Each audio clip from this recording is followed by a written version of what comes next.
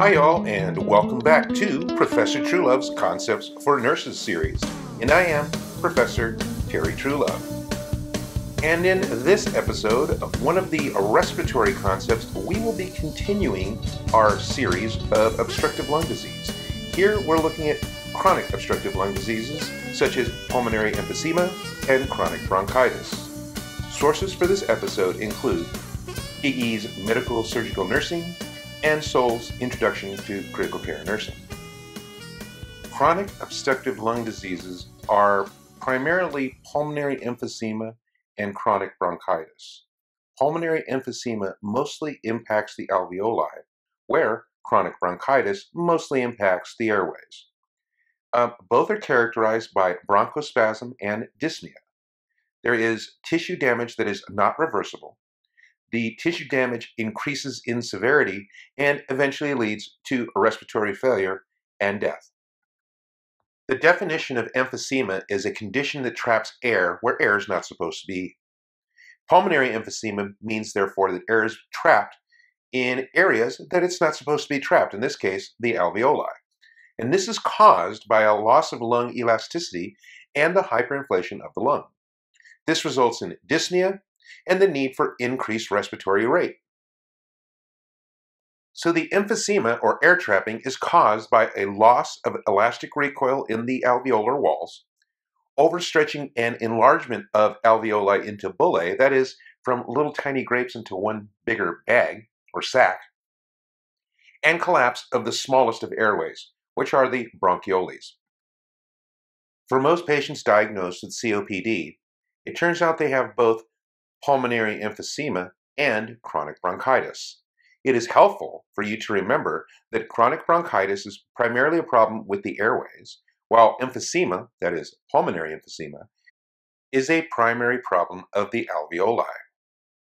Most patients diagnosed with COPD will have both diseases, or even a little of one and more of the other. Unlike pulmonary emphysema, chronic bronchitis is an inflammation of the airways leading to those alveoli. This inflammation can affect the bronchi and the bronchioles. It's normally caused by chronic exposure to irritants, especially cigarette smoke. It is manifested by inflammation, vasodilation, congestion, mucosal edema, and bronchospasm. It affects only the airways and not the alveoli. It is also responsible for the production of large amounts of thick mucus. That is going to be important later as we discuss interventions and the patient's ability to drink fluids. Complications of COPD are primarily concerned with gas exchange issues, secondarily with cardiovascular issues and nutrition issues. So, these complications include hypoxemia and tissue anoxia, chronic acidosis, respiratory infections, that is, the potential for respiratory infections, cardiac failure, particularly cor pulmonale, and cardiac dysrhythmias, normally from hypoxic injuries. When assessing the patient for COPD, make sure that you take an accurate and comprehensive history.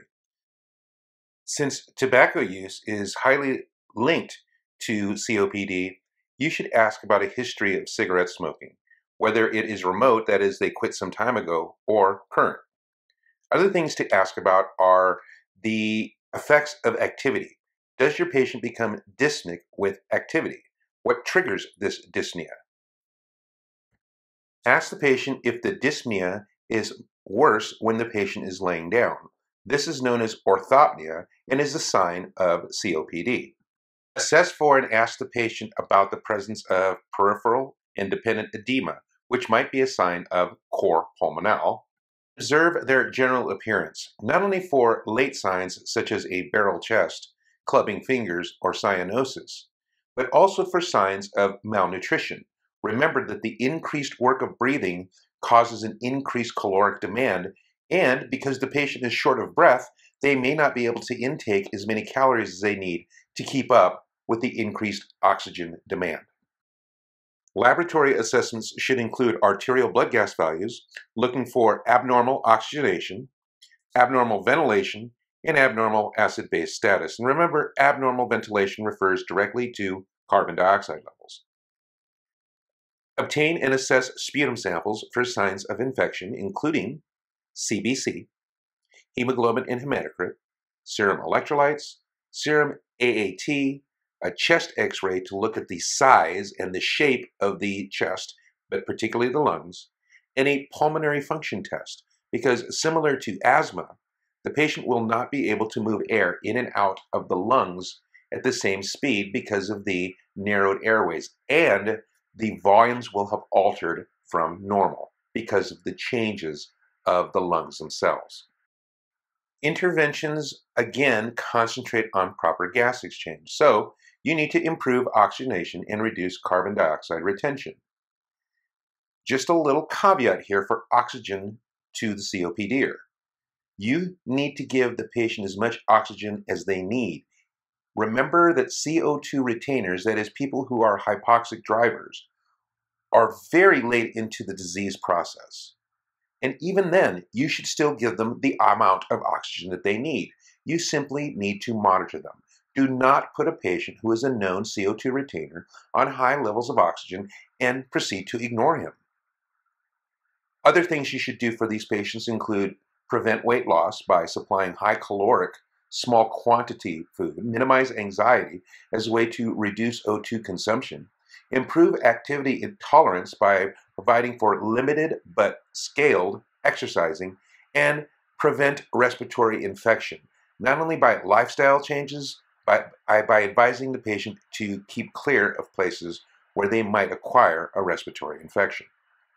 As for drug therapy, drug therapy is similar to that of asthma, and they include beta adrenergic agents, cholinergic antagonists, methylxanthines, corticosteroids, nonsteroidal anti-inflammatory drugs, and mucolytics when the mucus is absolutely too thick. However, remember that the best intervention for thick mucus is hydration. If the patient can tolerate it, that is, if they don't show signs of heart failure, encourage the patient to drink plenty of water to loosen those thickened secretions. Thinking about surgical interventions, the scarcity of donor lungs really eliminates the possibility that a COPDer will be receiving one of those lungs. However, lung reduction surgery, in which the hyperinflated areas of the lung are removed, actually shows quite a bit of improvement for the quality of life of these patients. However, preoperative care and testing must be done to make sure that the patient doesn't have cardiac problems or renal problems related to the COPD that may cause them complications. Currently, it is preferred to do a minimally invasive surgical technique using video-assisted thoracoscopic surgery, or VATS. However, open procedures are still done if necessary. Your postoperative care is going to be dependent on the type of surgery. The more invasive, the longer the recovery period. However, coughing, deep breathing, and avoiding infection are all priorities after these types of surgeries. You need to maintain and keep proper pulmonary hygiene. The fact that COPD will never get fixed is going to dictate the community-based care. In home care management has to revolve around the long-term use of oxygen and a pulmonary rehabilitation program, which includes things like dyspnea management. This is because this dyspnea can interfere with things like eating. So teach the patient to pace themselves while they're eating. While we're talking about breathing patterns, you'll want to teach the patient about pursed lip breathing, which is when they inhale through their nose and exhale through their mouth as if they're whistling. This will cause a little back pressure, sort of like PEEP, and allow some of the trapped air to escape. Think about techniques like diaphragmatic breathing, in which you encourage the patient to visualize and hold on to their diaphragm in an effort to reduce the use of accessory muscles, Remember, accessory muscles aren't made for breathing and they burn more calories when they're trying to respirate. Teaching the patient to exercise and use their diaphragm is an ideal way to reduce oxygen consumption. Also teach the patient about ways to combat orthopnea. Teach them about sitting up in a tripod position or leaning forward. Lastly, you want to teach them about proper coughing techniques. The patient should have what's called a controlled cough, taking a deep breath in and having two or three mini coughs, that is small coughs, where they don't get into this jagged, ragged coughing spell that causes them a lot of oxygen consumption and makes them feel dyspneic. Remind the patient on proper techniques for using medications, what manifestations of infections look like so they know how to report it, and lastly, how to relax in the time of crisis.